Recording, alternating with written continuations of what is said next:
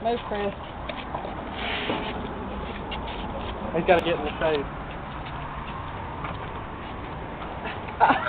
he got under the truck. What are you doing over there?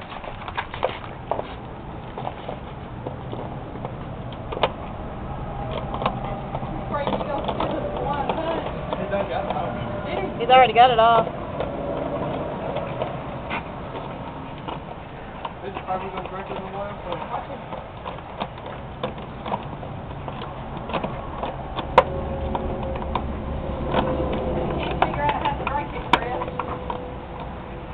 Hey, loaded this.